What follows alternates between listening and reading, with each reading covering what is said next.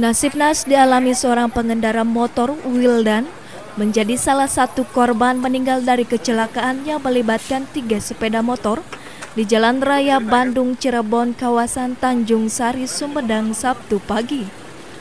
Kejadian berawal ketika sepeda motor jenis Fiction bernomor polisi Z3621 AAC yang dikendarai korban dari arah Sumedang menuju Bandung oleng dan terjatuh setelah bersenggolan dengan sepeda motor yang pengendaranya melarikan diri.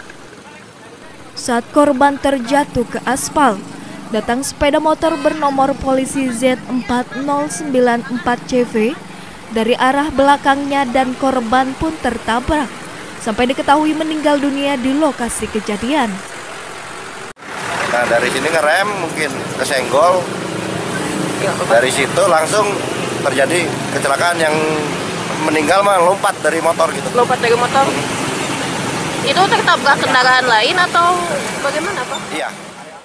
Jenazah korban dibawa ke puskesmas Tanjung Sari bersama dengan dua orang pemotor yang ikut terjatuh yang mengalami luka-luka. Diki Guntara, Bandung TV.